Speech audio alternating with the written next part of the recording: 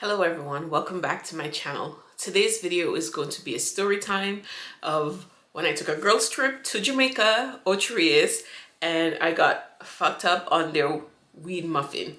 So if you want to hear about it, stay tuned for after the intro.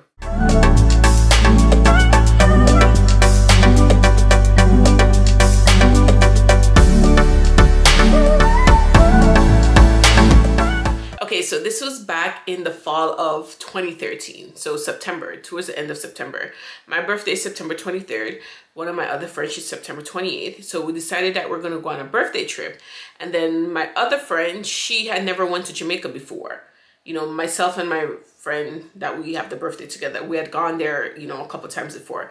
My other friend, she hadn't been. So she's like, you know, let me take this opportunity and go since you guys are going, you know, let me just, you know, hop in. And let me tell you guys, if you're ever going on a girls trip anywhere, especially if that's not the country where you're originally from, make sure that they're bona fide friends. Like they're level-headed and they're good friends. Like they'll have your best interests at heart. Like so for instance, you know, your head's not there like mine's was. So we landed in Montego Bay and then we had a cab I think the hotel we were staying at um Jamaica Grande I think it, was called. Now it's called the Moon Palace. So it was an all-inclusive trip so they picked us up at the hotel. They had a driver pick us up at the hotel take us to to the you know the hotel. It was beautiful. It's even more beautiful now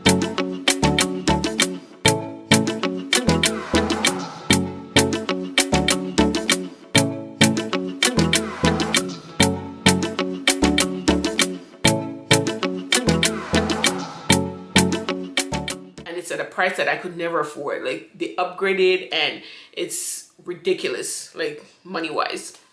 So the first couple days we just hang around, met up with some friends that, you know, my other friend had there because I have like family members or not fam, well, they're, they're fam, let's just call them family members, but they're on the other side of Jamaica. They're in Kingston.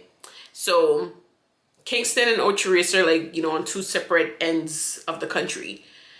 So we met up with her friends. We went to, there's a beach called, I keep calling it um, Journey, but I think it was Flavor. A beach called Flavor. We had a seafood roast. It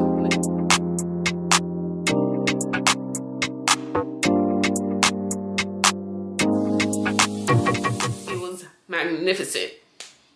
But, because I smoke weed, but I've never had edibles before at the time.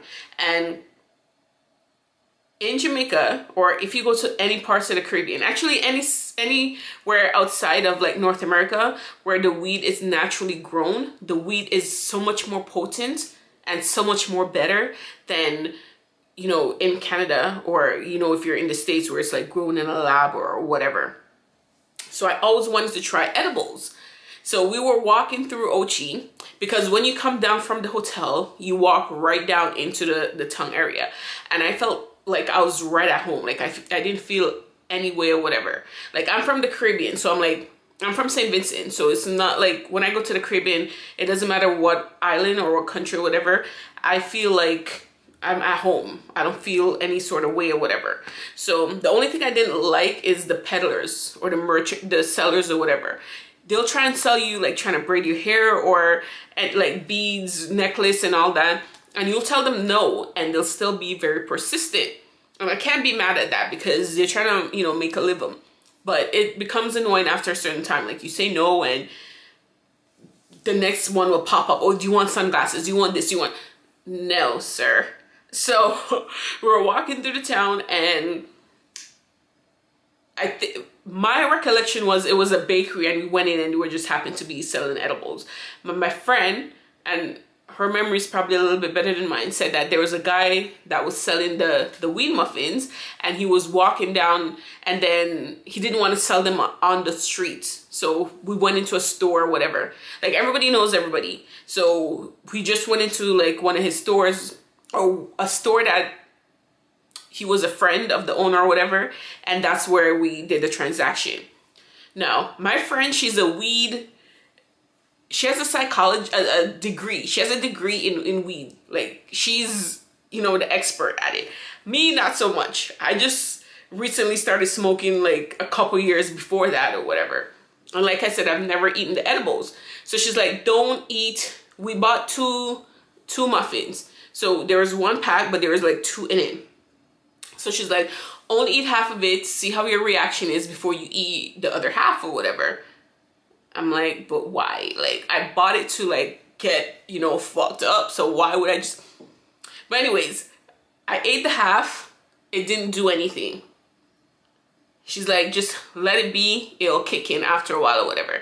And originally, I didn't eat it when we were on the streets. I waited until we went back to the hotel because I didn't know what my reaction was going to be.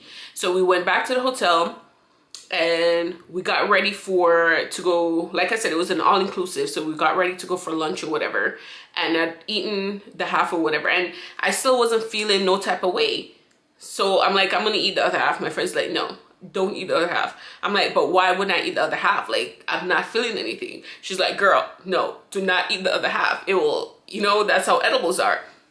Me being the stubborn person that i am i'm like i'm, I'm gonna eat the other half you're, we're in Jamaica. I'm, I'm eating the other half. Even if I, anyways, ate the other half, went down for lunch. I remember picking up, you know, like the food and whatever, picking up what I want to eat. I remember sitting down and that's it. That's it. I don't remember anything else. My friends claim that my head went down in, in my plate of food. I think they're just saying that to be more dramatic because they know that I don't remember and there's no footage of it. So based on their memories or their fabrications, I fell face forward into my food. I don't know if it happened or not, but whatever. The next thing I remember is I woke up in the back of the car because that day we had planned to go to, um, we we're going to go to Kingston, um, Port Royal we're planning to go to Port Royal to eat. And Port Royal has some, listen, if you've never gone, if you've gone to Jamaica before and you've never went to Port Royal on your next trip, go to Port Royal. Their food is the bomb. And as I'm talking about it right now, I want some. Like their seafood, their, their fish, and ooh. But anyways, that's not what we're talking about. So on the way to Port Royal, I remember waking up in the back of the car because I um, someone had to stop to use the restroom. And I knocked out again. And from Ochi to Port Royal, I think it's about a couple hours. So I was sleeping that whole time, except for the time that I woke up. I remember getting to Port Royal. I remember walking in. I don't even know if I could walk by myself because my friends are like, after you know, I fell forward and whatever, and they, they had to like literally drag me to the car. So I think they might have held me in, like walking into Port Royal, or maybe it might have worn off a little bit by then. I don't know. But I don't remember what type of food I ordered. I know it must have tasted great because I have eaten there before. Because like I said, I've gone to Jamaica before. So I'd eaten at Port Royal before. So I know the food was bomb. That particular day when I went, I don't remember what I ate. But I probably go, because you know weed makes you get the munchies. Sorry, most likely I had the munchies. Probably ordered more than I should have. Probably ate more than I should have or whatever. But, and I don't even remember driving back to the hotel afterwards. Like I was, it took me like a couple days to recover. Like no lie. Like I was, there are probably things that I'm forgetting to mention that was told to me. But my brain was like literally I was wasted. I I didn't expect to get this reaction. I expected to get high, but I wanted to be high with memories, you know? Like smoking weed, you're supposed to the fun is supposed to escalate, not friggin' put me to sleep. Like I was knocked out. Knocked out like I this is the thing about edibles. When you eat edibles, it creeps up on you it creeps up on you. It is when you eat it, it's much more higher, the, it's more potent than when you're smoking it. Cause I smoke all the time, you know, like I'm not a regular smoker where I smoke every day. But the thing about these brownies, they didn't take, and they were not brownies. I keep calling them brownies. They were muffins. These muffins didn't taste anything like weed if I didn't purchase them knowing that there was weed in them, I would have never thought that there was any weed in there because it tasted great. and like I said, there was no hint of it didn't taste like there was any weed in it or anything like that. And that's why I had no problem just, you know, I thought it's weak. Maybe this guy doesn't know how to do his thing or whatever. And I'm he probably warned me about it when I purchased them, but I wasn't pay paying attention to it or anything like that. I actually have a picture of him and my friend, so I'll post it. Next time I go back to Jamaica, I want a rematch. I want a rematch on those brownies. I wonder if he's still selling them. I don't know if I'll recognize him now if I were to see him again, but I'll find him. I will find you and I want a rematch. Cause those those those those those muffins fucked me up, y'all. Fucked me up. But I learned my lesson. Edibles, you know, take half the recommended dose. Don't just gobble it down or whatever. The second brown the second muffin I didn't even eat it. I had to throw it up because my plan was to bring it back to Canada. And my friend's like, no, when you go to the airport, they'll catch you and they have sniffing dogs or whatever. I'm like, yeah, but it doesn't even smell like weed. But you know, dogs, their smell is like, you know, heightened more than humans. So maybe I would have gotten caught or whatever. So I had to throw it out. My friend, you know, I probably would have eaten it, but we didn't have that much time left. We went down on seven days. This was probably like the fourth or fifth day in. So I didn't have time to like eat it and recover or whatever. I didn't want to go to the airport acting all, you know.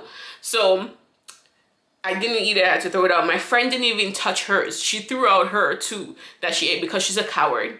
She's a coward, you know, because she saw my reaction to it. So she's like, no, no, I'm not taking a risk. I'm gonna, I'm gonna like throw it out or whatever. Like they, they had to baby me. They had to take care of me. Like, and one more thing this is like two story time in one the day that we were coming back to canada went through the airport security and everything passed through and i found that i had half a spliff in my bag i didn't know that this was there like this wasn't done to disrespect the jamaican authorities or try to i wasn't trying to smuggle drugs or anything because why am i to come back with half a spliff because usually when I, I smoke i don't smoke like the whole thing i'll smoke like you know, like half or take two or three pulls or whatever. And I guess that's what I did. And I had half left and I, you know, wrapped it up in tissue and had it in my purse. And I totally forgot that it was in there. And the thing was, when I was sitting outside in the lineup to go in, like to show my passport and everything, there was a flipping dog that came and it was sniffing. And I'm looking at the dog and I'm like, ooh, you're cute, you're, but you can't play with them or whatever. You're not allowed to like touch the whatever. But he kind of lingered around me. And I'm thinking, I'm like, does he like me or something? Like, is he just being extra friendly?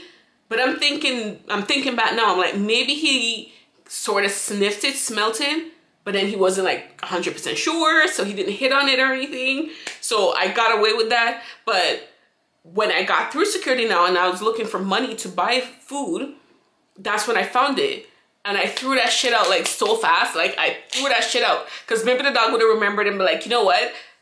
You know, tell his handler, you know what? There was a girl and I didn't want to tell you, but you know, I'm acting like I'm high. No, I'm not. I haven't smoked in a while.